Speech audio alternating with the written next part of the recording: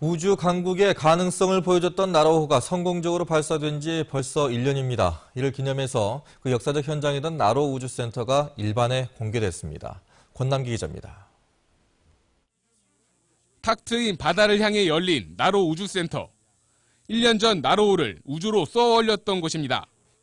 발사대를 다시 찾은 사람들은 발사 성공의 순간을 떠올리고 아이들은 미래를 위한 꿈을 꿉니다. TV로만 봤지.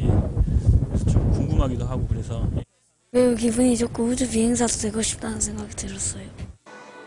총각을 다투는 발사의 순간을 생생하게 지켜보던 상황실의 모니터엔 지금도 카운트다운과 함께 긴장감 가득했던 얼굴들이 스쳐 지나가는 듯합니다. 근데 생일 파티 가고 싶었는데요. 오니까요 너무 재밌었어요. 실제로 보니까 너무 대단하고. 평소 보안상의 이유로 통제되다 나로 발사 성공 1주년을 맞아 공개된 나로 우주센터.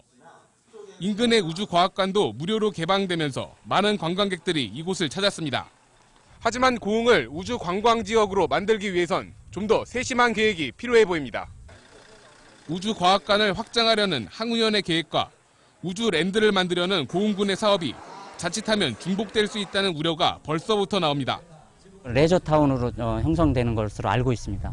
되도록이면 어, 중복 투자를 하지 않고 한국형 발사체 개발 등 우리나라 우주항공 산업의 미래를 위한 투자와 우주 테마파크와 같은 관광 프로그램 개발이 이곳 고흥 나로 우주센터의 새로운 가능성으로 남겨져 있습니다. MBC 뉴스 건남기입니다.